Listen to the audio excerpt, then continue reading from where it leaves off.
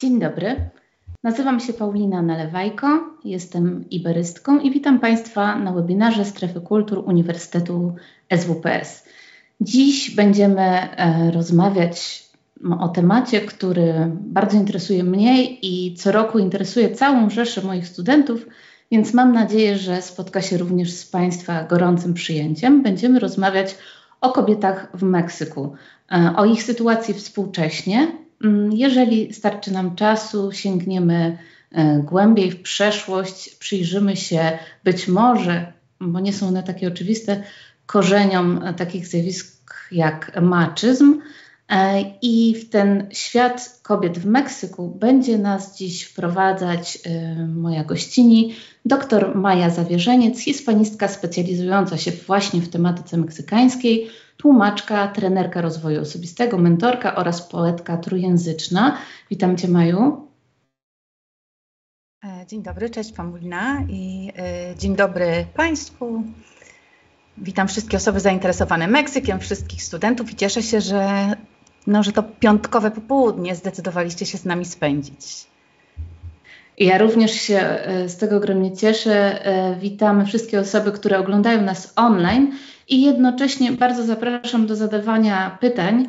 E, przez cały czas naszego webinaru obok okienka z wideo znajduje się okno czatu, gdzie mogą Państwo dyskutować, zadawać pytania, które w trakcie naszej rozmowy będę przekazywać naszej gościni.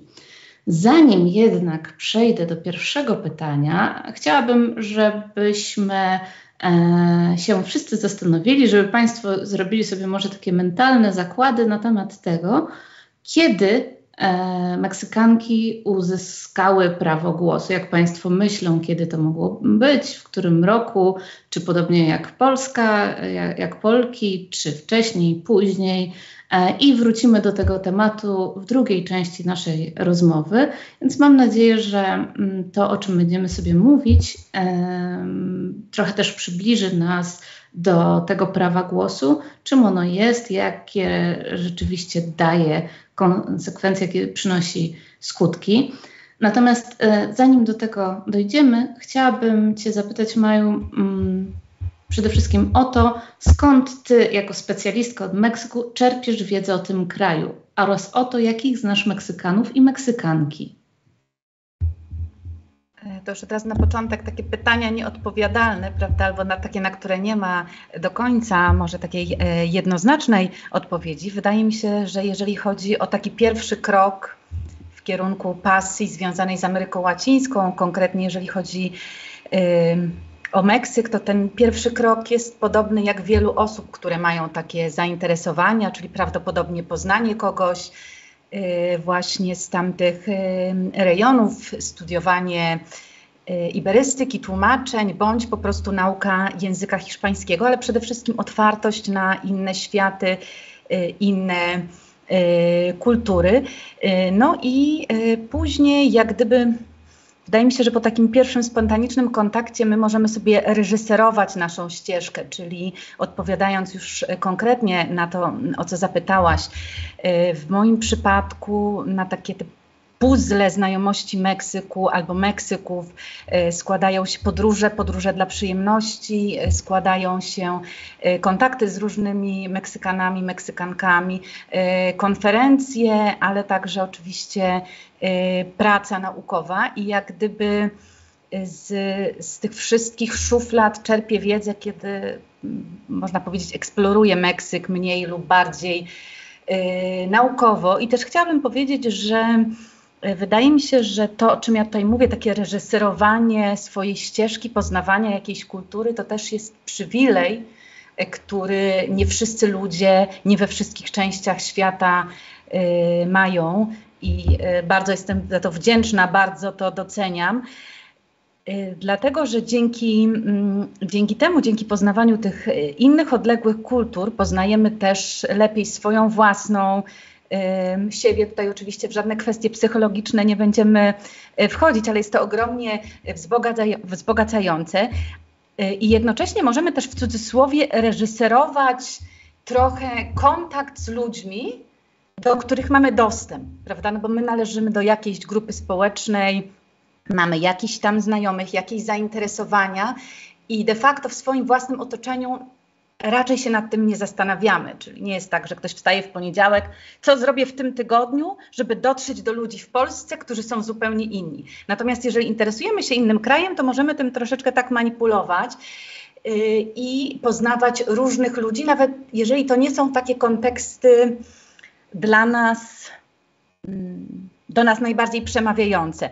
Yy, ja znam bardzo różnych Meksykanów, od takich Meksykanów mieszkających w domach, w cudzysłowie, telenowelowych, do Meksykanów z tego, co ja nazywam nieistniejącą klasą średnią, ponieważ o ile, jeżeli mówimy o jakimś y, poziomie wykształcenia, no to bez wątpienia taką klasę średnią w Meksyku mamy, to to absolutnie nie idzie bardzo często ze średnim poziomem, cokolwiek miałby y, on oznaczać ekonomicznym. Po Meksykanów, którzy ledwie wiążą koniec z końcem, albo którzy są po prostu e, bardzo e, ubodzy, osoby, które pracują w korporacjach, osoby, które są artystami. Także jest to bardzo szeroka grupa. Najwięcej osób znam takich, które w jakiś sposób są, są mi bliskie, niezależnie od narodowości, czyli osoby zajmujące się twórczością, kreowaniem, y, sztuką, y, literaturą, edukacją i promocją kultury. Więc jest to, można powiedzieć, taki miks. Jeszcze zapomniałam do tego miksu dodać osoby z jakichś szanowanych instytucji, uniwersytetów, instytucji kultury, profesorów. Tak się zastanawiam, czy to coś oznacza, że mówię o nich na na końcu, natomiast to też jest taka specyficzna e, grupa. I jeszcze chciałabym dodać e, do tej pierwszej szufladki podróżowania, że mm, za każdym razem, jak gdyby to poznawanie Meksyku, Meksykanek i Meksykanów wygląda trochę inaczej ze względu na kontekst podróży, czyli inaczej to będzie wyglądało oczywiście, kiedy jest konferencja, kiedy robię jakiś event kulturalny albo kiedy sobie po prostu eksploruję, ale też bardzo często zależy to od tego, kto akurat jest ze mną. Bo jakkolwiek by to nie brzmiało surrealistycznie, yy, no to mogłabym w Meksyku tak, być wzięta za Meksykankę. Są Meksykanki, które wyglądają yy, tak jak ja, nie jest to niczym dziwnym. Natomiast jeżeli byłabym z kimś, kto wygląda tak jak ja, na przykład z jakimś yy, facetem albo koleżanką, też jasne włosy, jasne oczy, no to już będziemy gringos albo gringas. I takie sytuacje też miałam. Czyli jeżeli jest się w Tijuanie o 15 z kimś, kto wygląda też podobnie na turystę, na Europejczyka, no to oczywiście jest, jest się zapraszanym na dwie margarity w cenie yy, jednej. I yy, też tutaj. Mm, chciałabym wspomnieć, to jest taka dygresja, bo my zawsze, e, kiedy mówimy o jakichś takich kwestiach e, rasy, etniczności, różnego podejścia do tego typu e, spraw, różnych komentarzy, no to sobie wyobrażamy, że, że raczej właśnie takie osoby pochodzące z Europy, ze Stanów Zjednoczonych nie są obiektem tego rasizmu, a mi też się zdarzyło być, ja to nazywam sobie takim odwróconym e, rasizmem, bo nie wszyscy Meksykanie, prawda, lubią obcokrajowców, e, lubią gringos. E, więc to też jest takie bardzo, bardzo różne. Czasami właśnie można wzbudzić zainteresowanie, że jasne włosy, jasne oczy i tak dalej, dzieci dotykające tych włosów w, w jakimś tam e, środku transportu, ale też może być bardzo duża e, niechęć. Więc mogę też powiedzieć do tego, że jakich znam Meksykanów i Meksykanki, znam Meksykanów i Meksykanki, oprócz tego, co powiedziałam wcześniej, ze swojej strony, takich, dla których ja jestem jakąś ciekawą osobą, i mamy tą wymianę informacji, albo osobą, która wzbudza zainteresowanie, ale też jestem taką osobą, y, która wzbudza y, niechęć. Więc tutaj też chciałabym pokazać, że to jest takie, jakby, że wiele, tutaj mówiąc o postrzeganiu Meksykanów, Meksykanki przez X dziewczynę z Europy, dotykamy y, bardzo y, wielu spraw. I kiedy też poznaję ten Meksyk przez te trzy szufladki, o których powiedziałam, to to, co mnie interesuje często, to jest to, gdzie jak gdyby książki albo te prace naukowe stykają się z życiem, a gdzie nie. Bo to jest też y, bardzo ciekawe. Y, z przekonanie się na własnej skórze, że rzeczywiście jakieś zjawiska mają miejsce, zresztą tutaj o tym będziemy rozmawiać, albo że być może jest zupełnie inaczej, jak ktoś mądry yy, napisał. Więc to tak yy, słowem wstępu. Nie wiem, czy odpowiedziałam tak, jak chciałaś, Paulina. Tak, odpowiedziałaś na moje pytanie, natomiast yy, jeżeli y, odpowiedź na to pytanie mm, kieruje nas w tak różne rozgałęziające się, na tak różne rozgałęziające się ścieżki, więc podejrzewam, że moje kolejne pytanie e, może już w ogóle doprowadzić do, e, do, bardzo wielu różnych możliwości, bo chciałam Cię zapytać um, o to, kim jest współczesna Meksykanka. I też e, spodziewam się już, że może być tak, że wcale nie jest możliwe stworzenie takiego profilu współczesnej Meksykanki. Czy to moje przypuszczenie jest słuszne, że takiego jednego profilu współczesnej Meksykanki być nie może? E, kiedy przygotowywałam się do tego mm, e, spotkania i rozmawiałam na ten temat ze swoim chłopakiem, powiedziałam mu, że o, mam tutaj rozmawiać o tym, jaka jest Meksykanka współczesna, kim ona jest. E, co ja powiem, prawda, jak ja to ulepię składnie, no bo nie ma czegoś takiego właśnie jak ta współczesna Meksykanka, to o czym mówisz dokładnie. No to on się zaśmiał i powiedział, Meksykanka to kobieta z Meksyku mająca paszport meksykański, prawda?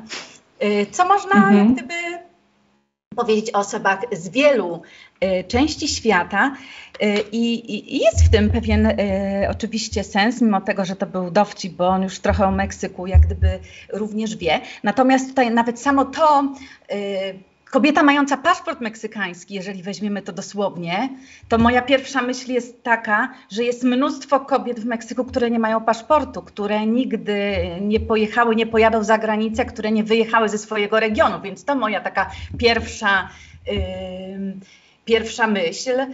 Yy, druga myśl jest yy, chyba taka, że mm, wróciłabym do terytorium, do geografii, czyli Meksykanka, czyli y, kobieta z Meksyku i do takiego sformułowania, które wiele osób wyrażało, że bardzo wiele jest Meksyku. Tak? I być może do każdego Meksyku, który byśmy sobie jakoś zdefiniowali, byśmy dopasywali y, jakąś y, Meksykankę. Kiedy mówimy o kwestiach etnicznych, to mam wrażenie, że jeżeli ludzi się pyta, y, kim są Meksykanie etnicznie, i ile jest w Meksyku tak zwanej ludności rdzennej, bo tu skorzystam i powiem, że y, sformułowanie Indianin, Indianka nie do końca są takie powiedzmy politycznie poprawne albo sympatyczne. Więc kiedy pyta się, ile jest tej ludności rdzennej, y, to zwykle mam wrażenie, y, w odpowiedzi padają takie liczby jak kilkadziesiąt procent, prawda? Kilkadziesiąt procent to byłyby bardziej takie kraje andyjskie, jak na przykład Peru, na przykład w Mek natomiast w Meksyku jest to około 10%, takie można znaleźć y, najczęściej dane. Najwięcej jest ludności metyskiej, czyli w cudzysłowie tej mieszanki europejskiej, prawda, ludności y, rdzennej, no i potomków bezpośrednich y, Europejczyków. I Dodajmy tak. tylko, jak to się przekłada na liczby bezwzględne, tak? Bo jak myślimy o 10% w Polsce, no to, e, to już i tak są, jest kilka milionów, no, natomiast tam, jakbym szybko przeliczyła, około e, 10% to będzie 12-13 milionów, dobrze mówię? Mhm, zgadza się, tak, tak, tak.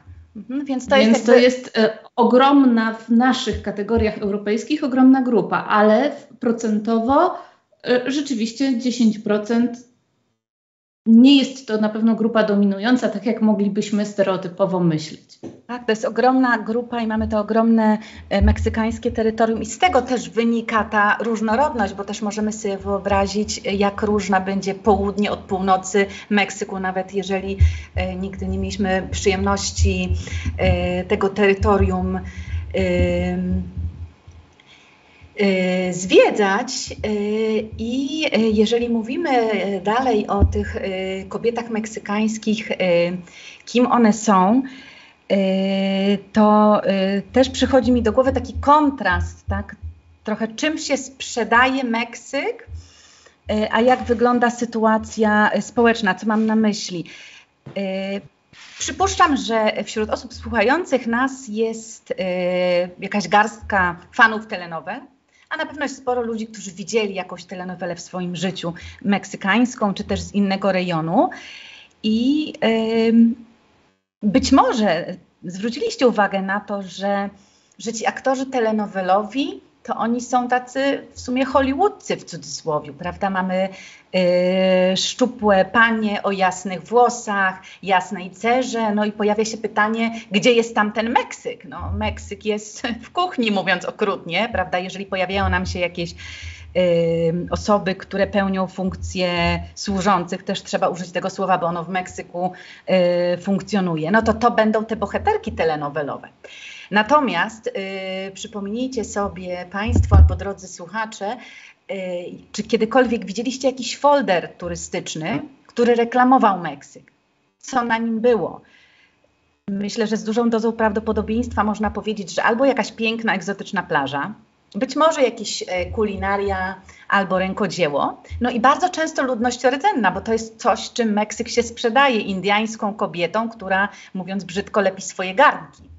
Natomiast y, jak gdyby też inną rzeczą, którą jeszcze na początku y, powiem, żeby mi nie umknęła, bo być może ona dla mnie jest oczywista, ale wcale oczywista nie jest, jest to, że kiedy mamy ten świat telenowelowy i ten świat y, z folderu, w cudzysłowie, ten świat ludności rdzennej, to w życiu codziennym one bardzo rzadko się spotykają i też często jak dla turystów z Europy albo ze Stanów Zjednoczonych, w cudzysłowie, bo to też takie brzydkie, proste słowo, egzotyczne są jakieś obrządki, indiańskie wierzenia, no to one też bywają egzotyczne dla tych yy, właśnie, yy, znowu troszeczkę upraszczając, białych, białych Meksykanów. Więc y, możemy sobie ten Meksyk jakoś podzielić y, geograficznie, możemy sobie ten Meksyk podzielić y, i Meksykanki przechodząc już do nich, e, względem koloru skóry. Też jest takie sformułowanie, które bardzo mi się podoba, w takim sensie, że jest doskonałą ilustracją nie tylko Meksyku, ale kobiet, sytuacji kobiet w Ameryce Łacińskiej i w ogóle. To jest to, że bieda ma kolor i płeć, czyli prawdopodobnie w najtrudniejszej sytuacji y, zawsze będą kobiety, i ich sytuacja będzie tym trudniejsza, im ciemniejszy jest ich kolor skóry. Brzmi to jak duże uproszczenie, i natomiast e, bardzo często mm, niestety tak, e, niestety tak to mm, wygląda. E, co jeszcze? Może odwołując się do elementów kultury meksykańskiej, które części osób mogą być znane. Modne są e, w ostatnich latach e, seriale dotyczące handlu narkotykami, prawda? I całej tej tak zwanej narkorzeczywistości, gdzie głównymi bohaterami są mężczyźni mający władzę, piękne kobiety, szybkie samochody, pozłacaną broń i tak dalej.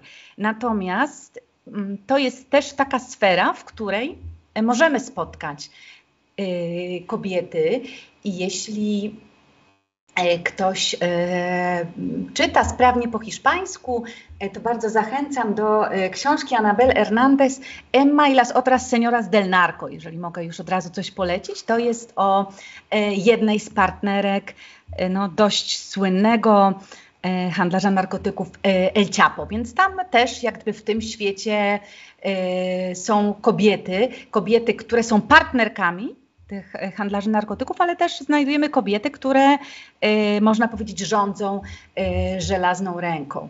Y, co jeszcze? Kiedy mówimy o kobietach, które może nie są takie typowe dla Meksyku, można wspomnieć o zapatystkach ze stanu Chiapas, które mają dość silną pozycję w, swoim, w swoich społecznościach i które zapewne kształtują swoją rzeczywistość, natomiast cała ta społeczność jest dosyć dosyć e, szczególna. I myślę, że tak zbiorowo można wspomnieć różnej, e, różnej maści artystki, ponieważ w sztuce bardzo często przekracza się różnego rodzaju granice, poszukuje odpowiedzi na pytania, e, różnego typu rozwiązań i wychodzi się e, jak gdyby poza ramy czegoś takiego, co dość bardzo, przepraszam, bardzo znana w Meksyku, dość mało znana E, w Polsce meksykańska e, pisarka Rosario Castellanos nazywała takimi snami e, społecznymi, czyli temu, że kobieta ma być podporządkowana mężczyźnie, znaleźć dobrego męża, zajmować się rodziną, ma być taką uległą osobą. Wydaje mi się, że tak odpowiadając, to się sama tutaj troszeczkę zamotałam. Zastanawiam się jeszcze, jakie znam Meksykanki e, do tych puzli meksykańskich. Z takich anegdotek to mogę powiedzieć, to raczej smutna anegdotka, że poznałam kiedyś e, Meksykankę, która wprost powiedziała, e, że poszła na studia w drogiej prywatnej szkole w Meksyku po to, żeby znaleźć odpowiedniego partnera, odpowiedniego, czyli z odpowiedniej klasy społecznej. Ale też przychodzą mi do głowy takie Meksykanki, które E, być może nie są jakoś e, super wykształcone, e, ciężko pracują i na przykład są samotnymi matkami i jak gdyby dla nich w ogóle to pytanie o ten wpływ społeczny, głos społeczny, to jest jakieś takie nieistniejące pytanie, mam wrażenie, no bo one muszą często walczyć po prostu o przetrwanie, pracować. Yy, więc znowu w takiej opozycji do takich troszeczkę pań, pań domu. No próbuję sobie zrobić taką wizualizację Meksykanka i kogo widzę i jak gdyby widzę swoje różne znajome Meksykanki, kobiety, z którymi miałam tam kontakt i nie potrafię jakoś tam złożyć do kupy. No tylko potrafię sobie pomyśleć, kto ewentualnie budzi moją mniejszą, większą sympatię, natomiast tutaj nie o sympatiach Yy, nie o sympatiach mowa. Jeszcze jedną rzecz chciałam dodać, tak może trochę jako ciekawostkę, yy, jeżeli chodzi o pozycję i yy, sytuację kobiet w Meksyku. Też oczywiście są organizowane różne konferencje i kilkanaście lat temu jedna z takich konferencji to była konferencja, na której spotkały się Meksykanki z Meksyku, intelektualistki i Chicanas, czyli Meksykanki mieszkające w Stanach. I bardzo ciekawe było przyjrzenie się tej publikacji, bo mimo tego, że jak gdyby większość głosów było feministycznych i postępowych, to nawet tam było widać, że to są zupełnie inne światy i że jak gdyby te kobiety meksykańskie z Meksyku, intelektualistki, czuły, że one są niezrozumiane nawet przez te E, Escritoras Chicanas, więc to też jest na swój sposób fascynujące, prawda? I też się tak zastanawiam, e, może zacznę zadawać to pytanie swoim znajomym e, z Meksyku, Meksykankom. Jaka jest kobieta meksykańska i jaka jest charakterystyka? Bo to też jest taki trochę strzał w stopę takie pytanie. Nie? No i w zależności od tej klasy społecznej, to też takie brzydkie sformułowanie, którego nie chcemy pewnie używać, ta odpowiedź byłaby inna zupełnie. Nie? Nigdy, tak uczciwie, nigdy nie zadałam wprost pytania osobie z tej wyższej klasy, jak ona widzi ludność rdzenną. Teraz pewnie bym zadała, tylko że teraz mam mniejszy kontakt z tymi klasami wyższymi, więc jakby moja okazja minęła. Natomiast zupełnie nie mam pojęcia, jaka byłaby odpowiedź y, na to pytanie. Można byłoby przypuszczać, że może ktoś tam z zagranicy, nie wiem, zadaje dziwne, y, dziwne pytania. Natomiast y, jeżeli będziecie mieli kiedyś okazję, nas, nasi drodzy słuchacze, to bardzo do tego tak zachęcam delikatnie, żeby sobie poeksplorować te kwestie społeczne Meksyku. Mm, krążąc wokół tego, co powiedziałaś na wiele różnych sposobów, no bo mm, myślę teraz e, przede wszystkim o tej ewentualnej różnicy etnicznej, różnicy klasowej, e, różnicy w majętności, e, ale też o tym spojrzeniu, spojrzeniu z, od wewnątrz e, ludzi, którzy ciągle mieszkają tam i ludzi, którzy wyjechali ileś lat temu. E, I w, w wszystko to, jak w soczewce, koncentruje mi się właśnie w filmie, o którym też przed spotkaniem rozmawiałyśmy, czyli w, w filmie e, Roma, Quarona, który być może widzieli Państwo, on był dystrybuowany za pośrednictwem platformy Netflix. W 2019 roku był nominowany do wielu Oscarów, trzy z nich otrzymał. Film Roma, bardzo znanego meksykańskiego reżysera, który od lat tworzy w Hollywood, jest takim pierwszym po latach jego mm, powrotem i filmowym, i faktycznym do, do Meksyku, i powrotem do swojej też własnej przyszłości, spojrzeniem na Meksyk. Natomiast on nas interesuje dzisiaj dlatego, że mm, główne postacie w tym filmie to kobiety. W sumie dwie, jest kilka. Mm, jest kilka e, też ciekawych, ale e, nie wychodzą na ten plan pierwszy.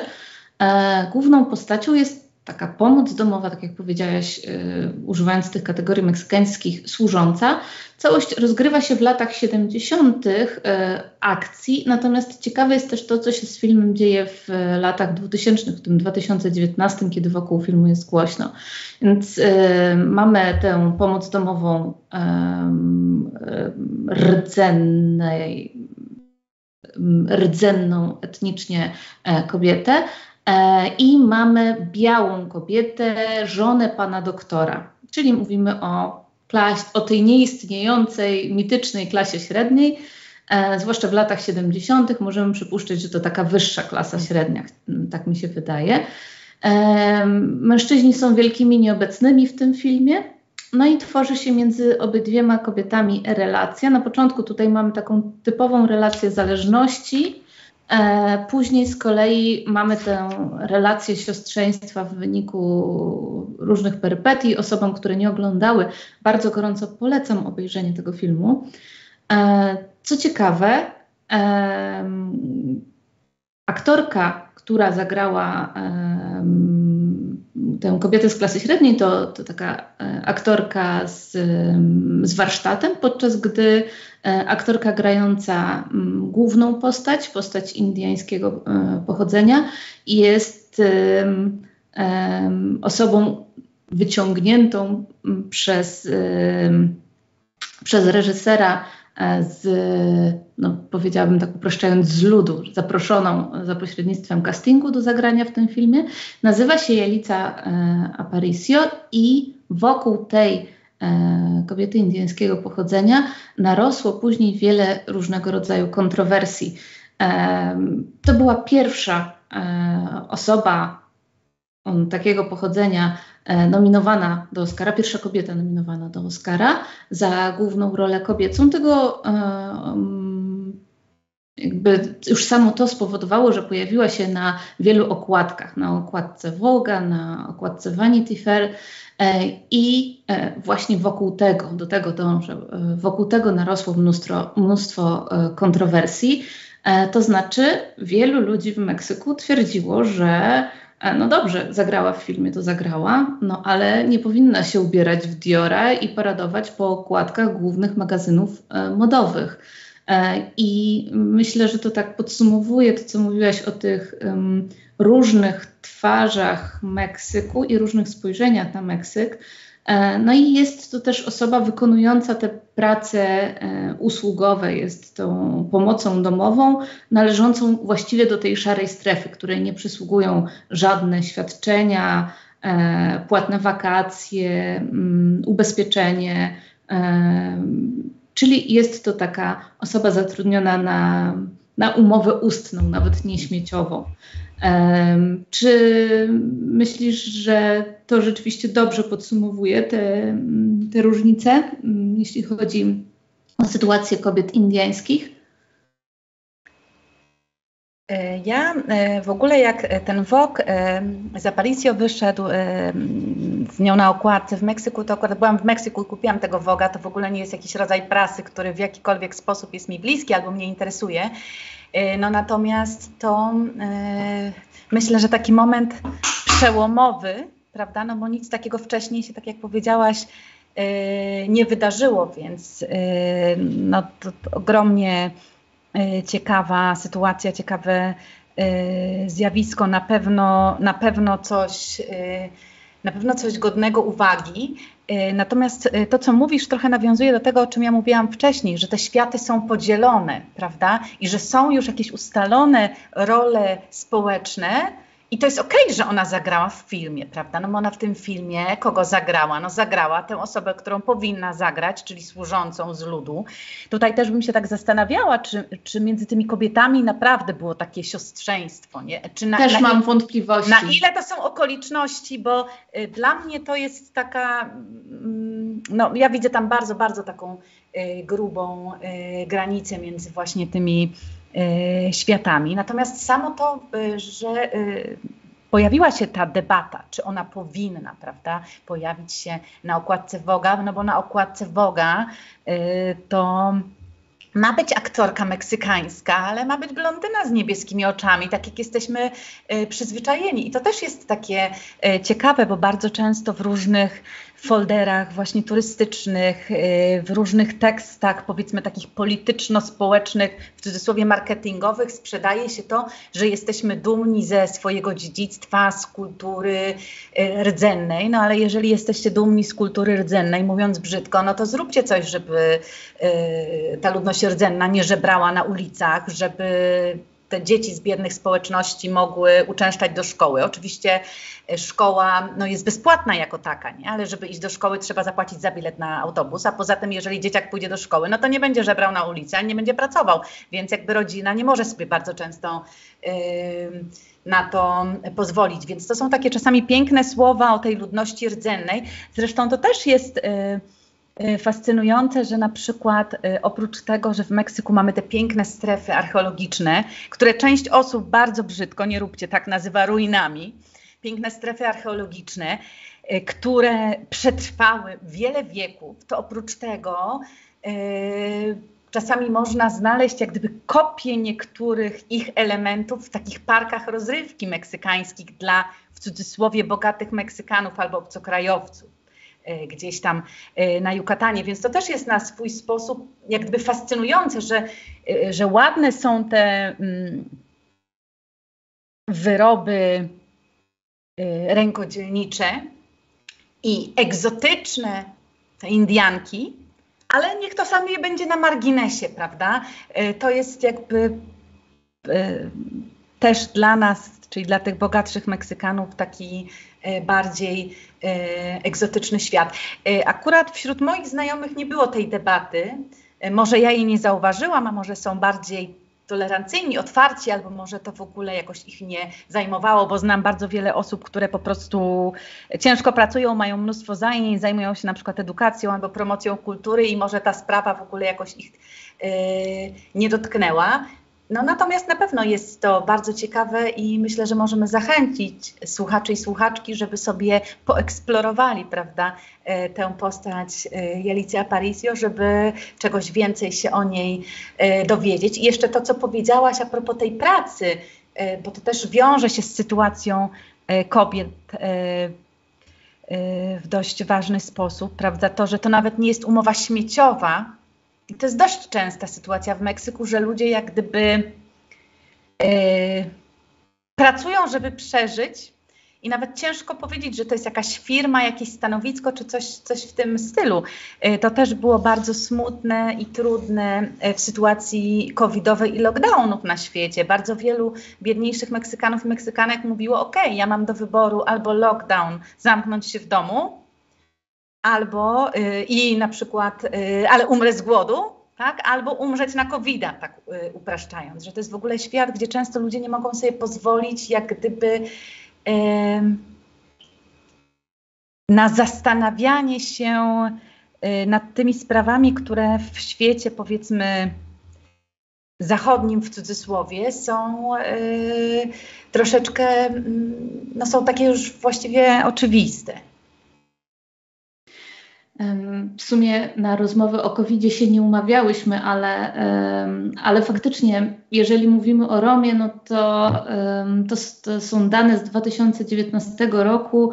Tam była mowa właściwie według e, Meksykańskiej Narodowej Rady do Spraw Przeciw, Przeciwdziałania Dyskryminacji o 2,3 miliona osób, które wykonują te e, prace domowe, z czego 92% to kobiety. Natomiast mm, to, to, to jest tak zwana pomoc domowa. To, o czym Ty mówisz, to często są e, osoby przygotowujące jakieś jedzenie sprzedawane później na ulicy, napoje, jakieś drobne rzeczy sprzedawane na ulicy. W, przy e, mm, sytuacji lockdownu, po pierwsze, zamiera podaż e, na te, na te produkty i usługi, a po drugie dochodzą jeszcze inne koszty, który, co do których być może nie zdajemy sobie sprawy. Sama wspominałaś, że często Meksykanka to samotna matka, która musiała w tej sytuacji um, wyposażyć swoje dziecko w, w jakąś formę internetu, jak, jakąś formę telefonu z dostępem do internetu, najczęściej na zasadzie jakiegoś takiego prepaida dosyć kosztownego, żeby to dziecko w ogóle mogło, czy te dzieci mogły korzystać z edukacji zdalnej. Więc mamy tutaj bardzo wiele tych wątków covidowych i sytuacji biedniejszej ludności, w tym bardzo dużej, dużego odsetka kobiet. Natomiast wydaje mi się, że, e, że taki odcinek covidowy to właśnie mógłby być cały odcinek. Natomiast e, niewątpliwie dla osób, które byłyby zainteresowane tym tematem, E, jest, e, jest wiele takich wątków, ale chciałabym, żebyśmy wróciły do tego, co w sumie zapowiedziałyśmy, e, zapraszając Państwa na to spotkanie, czyli do próby poszukiwania mm, powodu tego, jak wyglądała i wygląda jeszcze często ta sytuacja kobiet. Często wiąże się tę sytuację kobiet ze zjawiskiem dosyć powszechnie uznanym zjawiskiem maczyzmu w, w ogóle w Ameryce Łacińskiej, szczególnie w odniesieniu do Meksyku. E, jestem bardzo ciekawa, jak ty e, widzisz e, maczyzm, e, jego istotę i jego korzenie, bo co do, co do samego, samych sposobów zachowania, to jest tutaj dosyć duża zgoda, co do korzeni niekoniecznie. Różnie badacze się przyglądają tym korzeniom i różne możliwe powody powstania tego zjawiska wskazują. Jak ty to widzisz?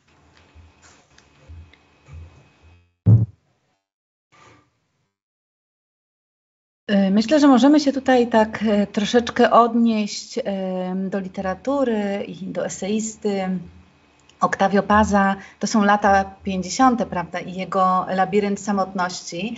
E, natomiast mimo tego, że wiele Mm, elementów y, dotyczących filozofii Meksyku albo społeczeństwa meksykańskiego, czy też mentalności, można powiedzieć, że y, już jest przestarzały, prawda? Jest to jakiś tam kanon, natomiast y, no, część jego opinii myślę, że możemy uznać za przestarzałe, to jednak położyły podstawę ku jakiemuś zastanawianiu się w ogóle nad tym, jaki jest Meksyk, jaka jest tożsamość E, Meksykanina, jak te różne sprawy mm, wyglądają. Zatem dla Octavio Paza, tak, Macio to jest ktoś, kto no se deja czyli ktoś, kto bardzo zmieniając tłumaczenie, nie da sobie w kaszę dmuchać, jest silnym mężczyzną, ma władzę, poddane mu są yy, kobiety. Yy, być może można by też myśleć tak bardziej metaforycznie o, o tym, co się zadziało w ogóle w Ameryce Łacińskiej, czyli o tej konkwiście, o wojnie, prawda, gdzie ta metaforyczna Ameryka Łacińska, zresztą to też nazwa nadana, prawda, przez ludzi z zewnątrz, przez Europejczyków, yy, która zostaje w cudzysłowie zgwałcona przez tego najeźdźcę konkwistadora, w jakiś sposób metaforyczny. Można się też zastanawiać, tak myślę, nad tym, na ile te elementy y, macismo y, wiążą się y, także z, z kulturą europejską, czyli, czyli hiszpańską.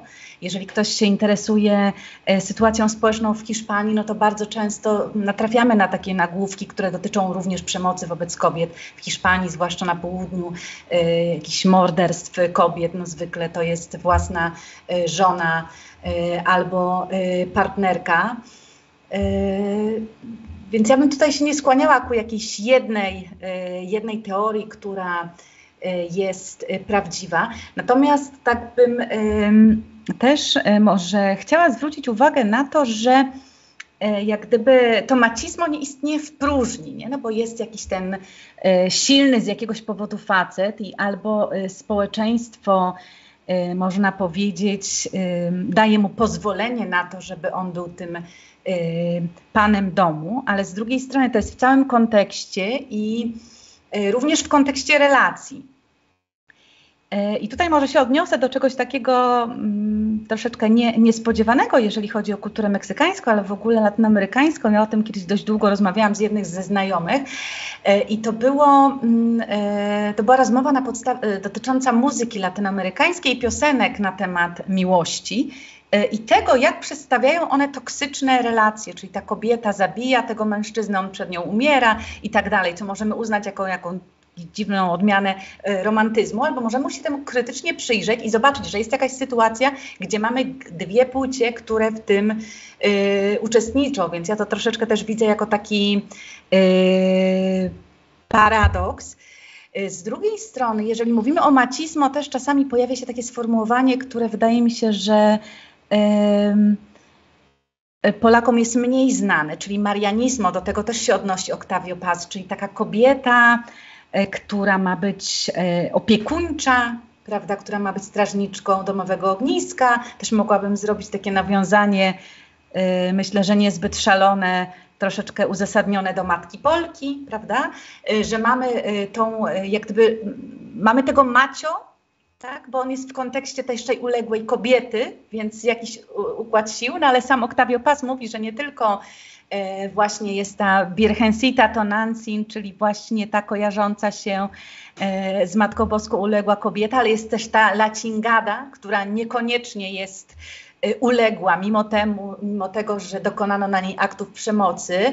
I tutaj można znowu się odnieść do takiej postaci, która jest dosyć znana, myślę, już w Polsce, Malincie, czyli znowu ciężko sformułować. Zawsze są takie problemy, jeżeli mówimy o kobietach, prawda, w historii. Czy to kochanka Corteza, czy jego tłumaczka, prawda, czy jego partnerka, czy wykorzystana y, przez niego y, kobieta.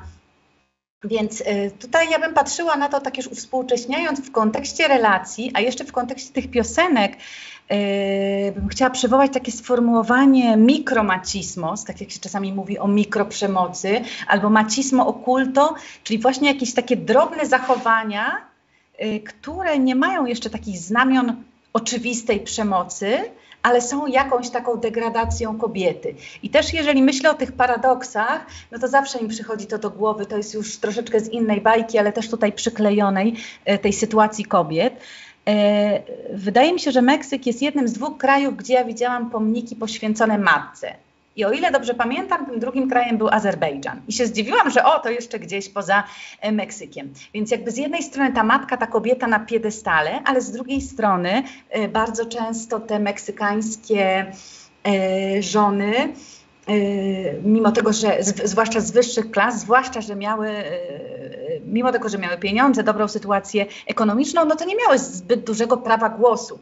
I jeszcze przypomniała mi się jedna myśl, y, do której y, chciałam y, nawiązać wcześniej. Ona mi uciekła a propos sytuacji kobiet i tego, co się dzieje na przykład po rozwodzie, bo Ameryka Łacińska i Meksyk to też jest miejsce, gdzie tych rozwodów jest sporo. E, jeżeli e, byłby rozwód w przypadku kobiety z niższych warstw społecznych albo zerwanie relacji, no to to się przekłada na to, że ona zostaje tą samotną e, matką, musi więcej pracować, więcej się wysilać, ogarnąć się w tym życiu, a jeżeli jest to kobieta z wyższych warstw społecznych, no to prawdopodobnie ten mąż zostawi jej dom, samochód i będzie jej tak zwane kieszonkowe w siłowni koło domu, bo widziałam takie przypadki, zostawią do końca życia, więc to też jest taki jak gdyby kontrast i zupełnie inna sytuacja, sytuacja, nawet jeżeli mówimy o czymś takim, czy, czy, czy to jest postępowe, że są te rozwody, bo jednak te kobiety może kończą te niesatysfakcjonujące związki, jak kiedyś nie kończyły, jest to jakaś wolność. Też mam takie wrażenie, e, że wiele dotyczy tutaj tych kwestii ekonomicznych, prawda, że mówimy tutaj o społeczeństwie, ale ciągle się coś od, y, rozbija jednak o te pieniądze, też szerzej, y, o, no, o edukację, prawda, więc i wspomniałaś o marianizmie, też o tym, e, że, że takie mm, pierwsze sygnały e, tego, tego drugiego bieguna widzimy u Paza już w 50. Natomiast już tak akademicko opracowuje to później Amerykanka Evelyn Stevens. E, I często mówi się o marianizmie jako o takim nurcie, który jest y, z zewnątrz nałożony na Meksyk. Czy ty w Twoich e, rozmowach z Meksykanami, czy, czy w, w jakichś takich rozmowach o rzeczywistości społecznej spotkałeś się z tym, żeby, żeby kobiety się identyfikowały z tym takim mitem e, kobiety odnajdującej siłę w tym, że, że będą takie mm, dostojne, jak Matka Boska, e, wyznające wyższe wartości, być może poddane temu mężczyźnie, ale, e, spo, mm, ale duchowo wyższe od niego. Czy ty znajdowałaś gdzieś potwierdzenia tej teorii, czy to jest tylko taka teoria akademicka? E, ja czegoś takiego, szczerze mówiąc, w życiu nie zauważyłam, natomiast tutaj też trzeba powiedzieć uczciwie, że ja raczej e, nie miałam zbyt głębokiego kontaktu z kobietami, które mogłyby tak myśleć. Prawda? Więc e, te, które znam, które albo tworzą, albo pracują na uniwersytecie, albo działają w kulturze, no to myślę, że by się uśmiechnęły z przekąsem co najmniej, gdyby coś takiego usłyszały. Ale w tym, co ty mówisz, ja słyszę jeszcze mm, taką E, inną kwestię, która dotyczy sytuacji kobiet, nie? takiego narzucania z zewnątrz jakiegoś obrazu albo w ogóle wymyślania tożsamości. Nie? Zresztą to, e, co robi Octavio Paz w swoim labiryncie samotności, no to jest stworzenie, jakoś lepienie tej tożsamości. No i to oczywiście y, musi lepić facet kobiecie, prawda, bo kobieta sobie tej tożsamości nie ulepi. Y, I lubię też przykład Octavio Paza, bo mogę wtedy powiedzieć dwie rzeczy.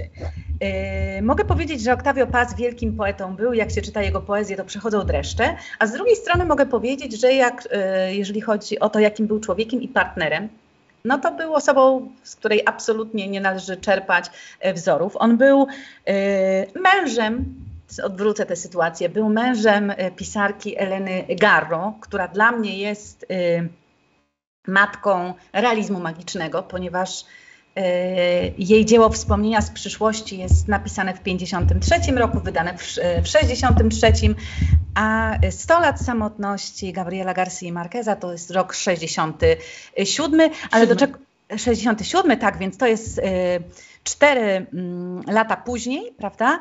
E, natomiast e, Octavio Paz e, nie wspierał swojej żony, otwarcie jej nie wspierał w jej próbach literackich i ich córka Elena też tak to opisywała, że jak gdyby mówiła o tym, że Octavio Paz był zazdrosny o ten talent żony, ponieważ wyglądało to w ten sposób, że ona po prostu miała jakąś taką fanaberię w cudzysłowie coś tam, i coś tam tworzyła z lekkością. Zresztą później też się o tym e, mówiło, że e, kiedy ona już sama żyła i brakowało jej pieniędzy, to ze swojego takiego kufra różnych dzieł coś tam wyciągała, wydawała i dzięki temu żyła. Więc tutaj też jest takie jakby to lepienie tożsamości i ta część akademicka i to, jak to wyglądało w życiu na, e, na, konkretnych, e, na konkretnych przykładach właśnie tego nieszczęsnego albo szczęsnego Octavio Paza.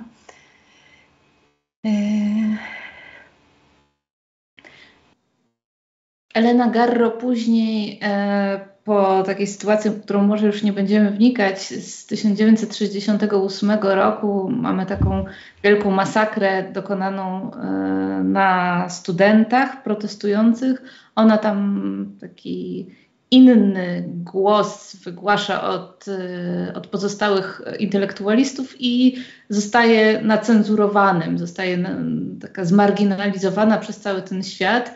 W, też wypowiada się o Octavio Pazie, mówi, mówi o tym, że właściwie to ją tak może nawet trochę przemocowo wciągnął do tej relacji, ale nikt specjalnie jej tam wiary nie daje. Wszyscy idą za nim, bo on jest tym wielkim intelektualistą, tym wielkim osławionym e, poetą. E, I właściwie nie wiem, e, kiedy ty odkrywasz Elenę Garro, ale wraca do niej krytyka w latach 90., wydaje mi się.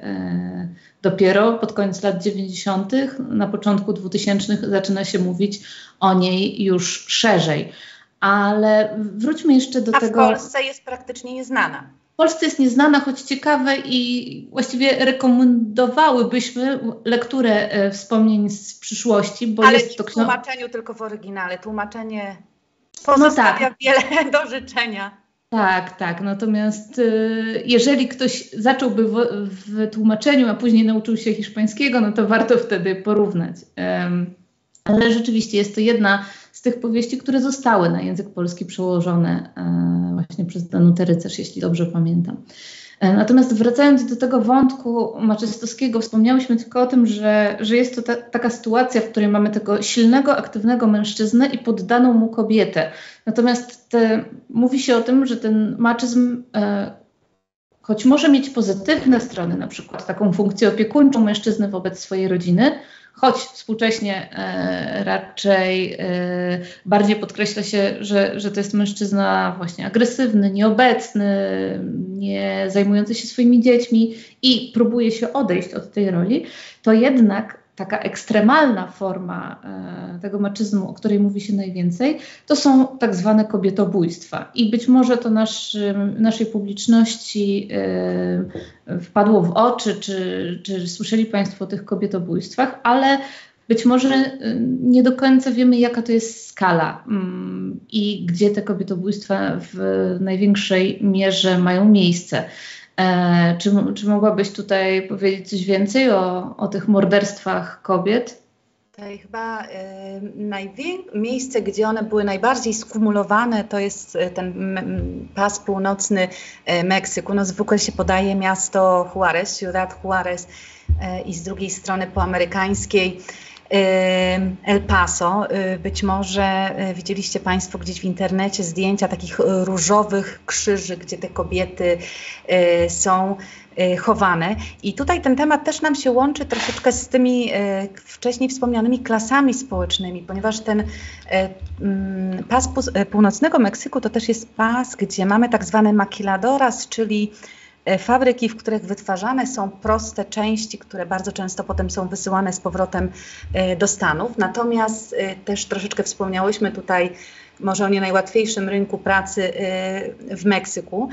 Zatem mimo tego, że mm, w tych makiladoras płaca jest dość niska, to jest wciąż praca i bardzo często kobiety z niższych warstw społecznych albo nie mające innych możliwości pracy z innych regionów Meksyku po prostu przenosiły się na północ, żeby y, pracować. Y, I tutaj jeden w trend, ja nie pamiętam dokładnych jak gdyby cen albo kwot, jeśli chodzi o wytwarzanie, nie wiem, na przykład jakichś drobnych części w tych makiladoras. Natomiast kilka lat temu przeczytałam, że mimo tego, że to było kilka centów dolara amerykańskiego dosłownie, to i tak część z nich jest e, zamykana, bo to jest za drogie w porównaniu z produkcją z Chin, więc tutaj aż dreszcze e, po prostu przechodzą, jaki to jest wyzysk, jeżeli mówimy o kwestiach ekonomicznych.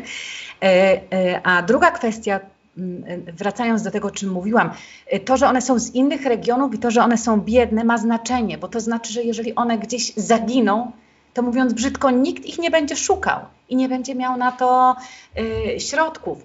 Y, I y, no, bardzo mm, y, albo sporo, można powiedzieć, dziennikarzy się tą sprawą zajmowało. Ja bym chciała przytoczyć pracę i śledztwa Diany Washington Valdez. Ona mieszka z drugiej strony w El Paso i napisała książkę Cosecha de Mujeres to już jest sprzed kilkunastu lat, gdzie pokazuje, że jak gdyby te kobiety były porywane, e, bardzo często e, wykorzystywane w jakiś okrutny, seksualny sposób, a potem wyrzucane w konkretnych miejscach, które należały do konkretnych, e, można powiedzieć, rodzin mających władzę w regionie i ona jak gdyby wraz z innymi dziennikarzami wskazywała, które to są jak gdyby rodziny, jakie to są miejsca.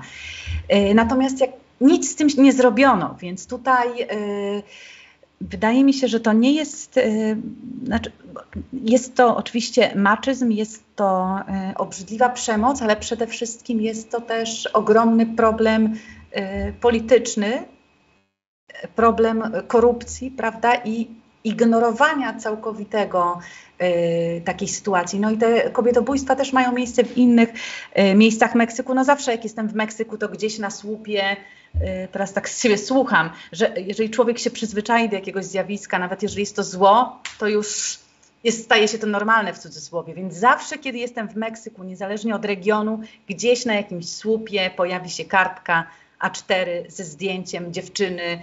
Zwykle to są jakieś takie osoby kilkanaście, dwadzieścia kilka, trzydzieści kilka lat, która zaginęła została porwana, bardzo często już e, jak gdyby nie, e, nie wróci. Jest też e, film dokumentalny na ten temat Bajo Juárez, la ciudad devorando a sus hijas, miasto pożerające swoje córki. To jest z ósmego roku, natomiast to są tak te prace właśnie Jany Washington i ten film, to są takie bardzo, bardzo poruszające dokumenty. Też wiele artystek meksykańskich no, inspirowało się tymi tragicznymi wydarzeniami w swojej fotografii, w jakichś różnego rodzaju wystawach, więc jest to temat bardzo żywy, natomiast to jest też taki chyba temat, na który Meksykanie i Meksykanki nie rozmawiają na co dzień, bo w jakiś sposób jak gdyby, mówiąc brzydko, przyzwyczajono się do tego.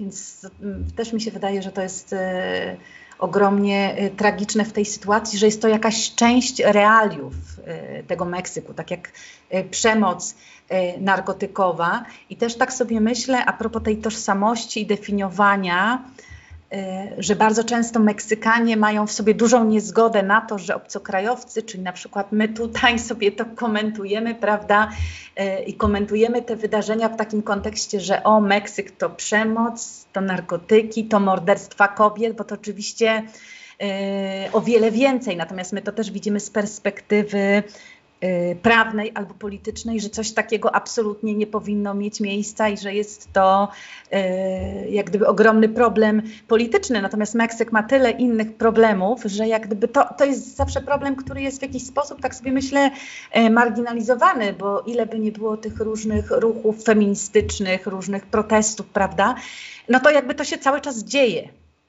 Myślę, że już z tego, co mi wiadomo, na mniejszą skalę, niż e, powiedzmy kilkanaście lat temu. Natomiast to jest wciąż e, istniejący problem, no i też kwestia z tym Meksykiem e, kojarzona. I też tutaj myślę, że ważne jest przytoczenie tego, że w prawodawstwie meksykańskim to zostało uregulowane w 2007 roku, czyli bardzo późno.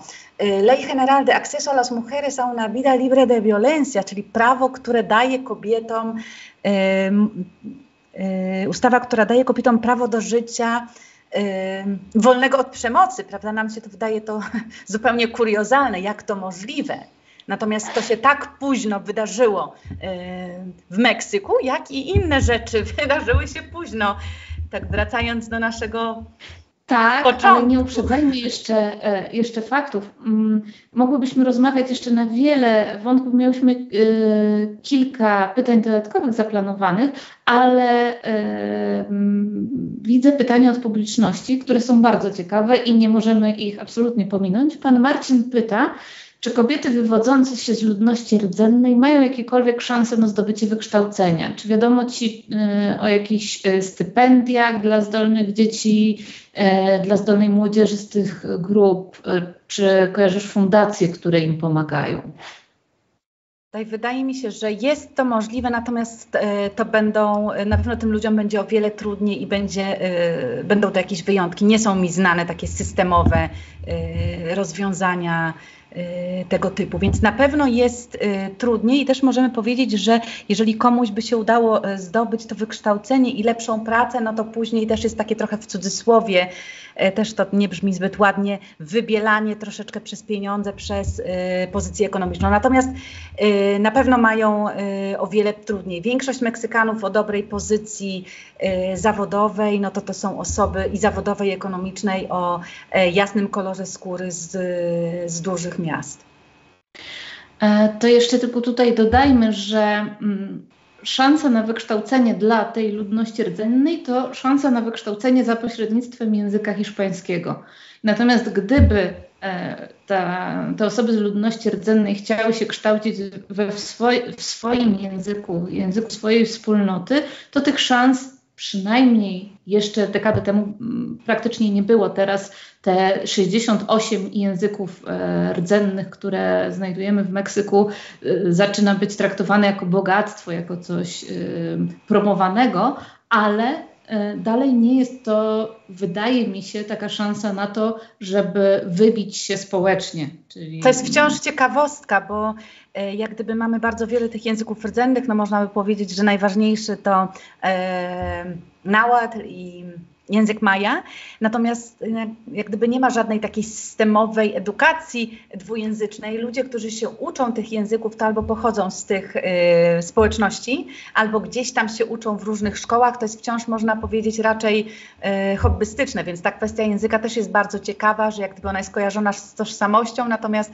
jakiegoś systemowego wsparcia Y, nie ma. No oczywiście bogaci Meksykanie y, znają niektóre te słowa z tych języków rdzennych, które funkcjonują w życiu codziennym. Natomiast tych, no, nie znają tych języków, prawda? I drugie pytanie e, od publiczności, e, które będzie, myślę, e, doskonałą klamrą przed rozwiązaniem naszego quizu, Czyli czy sytuacja kobiet y, w Meksyku znajduje odzwierciedlenie w literaturze XXI wieku, szczególnie w twórczości pisarek? Wiem już po tym, co mówiłaś, że tak, natomiast być może polecisz jakieś tytuły i to jest pytanie od pani Agnieszki.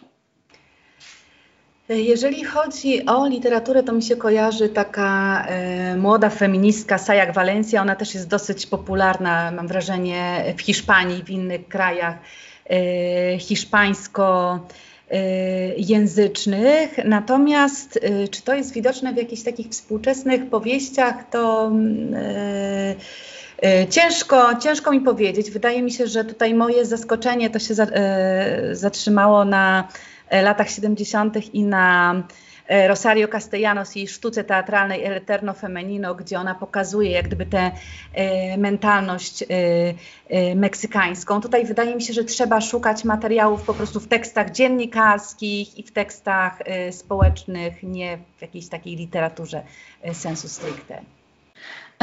To jeszcze tylko dodam, że bardzo wiele tych takich e, pisarzy i pisarek młodego pokolenia, którym udaje się wybić, to właściwie ludzie, którzy przynoszą się do Stanów za pośrednictwem stypendium, które uzyskują najczęściej w Nowym Jorku, udziału w warsztatach pisarskich, później wybijają się na tyle, by e, zostać w Stanach Zjednoczonych, objąć jak jakąś posadę wykładowcy literatury i tą drogą przez Stany Zjednoczone móc tworzyć, być nominowanymi później do, czy to do Nagrody Bookera, czy do innych międzynarodowych nagród. Tak, to, to e, troszeczkę rzeczywiście e, czasami idzie przez te duże wydawnictwa i przez jakieś tego typu konkursy, to jeżeli mówimy o wydawnictwach i osobie, która się wybiła właśnie dzięki, albo stała się popularna, mimo tego, że e, wydaje mi się, że już ileś tam lat temu świetnie pisała, to jest e, z północy Meksyku Liliana Bloom. Nie wiem, czy ona ma teksty takie feministyczne, natomiast bardzo często ma różnego rodzaju tematykę kobiecą i ona chyba studiowała właśnie E, literaturoznawstwo. Wydaje mi się, że też gdzieś studiowała w Stanach, ale dzięki temu, że jej książki zostały e, wydawane, zaczęły zostać wydawane przez duże wydawnictwa, to stała też się e, bardziej popularna. Natomiast tutaj też jest takie dodatkowe pytanie, nie wiem na ile, jaki stosunek mają do niej inne współczesne młode pisarki meksykańskie, które jak gdyby nie miały tego szczęścia, żeby studiować w Stanach i żeby wydało je jakieś większe mm, wydawnictwo, bo też jest, to jest też jakiś taki rodzaj przywileju, przynajmniej ja to widzę w ten sposób. E, ponieważ nasze spotkanie dobiega końca, możemy już y, odpowiedzieć na pytanie, z, y, które zadałyśmy na początku, czyli w którym roku kobiety w Meksyku y, uzyskują prawo głosu. Możemy się zastanowić, czy to wcześniej, czy to późno. E, wcale ta odpowiedź numeryczna nie jest taka oczywista, bo oficjalnie to 1953, ale po różnego rodzaju perypetiach. Natomiast rzeczywiście z tego, co, co ja wyczytałam, to chyba w 55 po raz pierwszy oddają głos w wyborach powszechnych. Um, czy według Ciebie to jest późno, wcześnie. W Polsce to jest 1918, jeśli chodzi o to prawo polityczne, ale niekoniecznie o prawa, różne prawa obywatelskie. Czy według Ciebie prawo głosu przekłada się na, na pozycję społeczną kobiety? E, to może jeszcze szybciutko odpowiem na tą pierwszą część pytania. Mnie się wydaje, że ten rok 53 czy też 55, pierwsze głosowanie to jest dosyć późno, natomiast też można się zastanawiać e, nad takimi wydarzeniami historii Meksyku, jak e, tak zwana rewolucja meksykańska, prawda, z początku wieku, gdzie widać tą zwiększającą się rolę kobiet i w czasie też tej rewolucji kongresy feministyczne, czyli coś tam się dzieje, są pisma tworzone przez feministki, przez, i one też politycznie można powiedzieć, że częściowo y, są wspierane.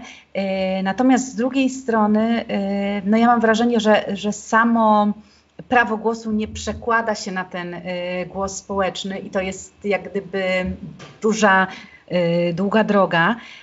Natomiast ja tak sobie myślę, że nawet że w ramach tego głosu społecznego E, to tak bym sobie wymarzyła, żeby e, kobiety, nie tylko meksykańskie, ale tutaj mówimy o meksykańskich, żeby odzyskały zupełnie to prawo do tworzenia własnej tożsamości, pisania o własnej e, tożsamości, bo de facto wszystko, o czym my tutaj mówiłyśmy, to jest jakaś kreacja.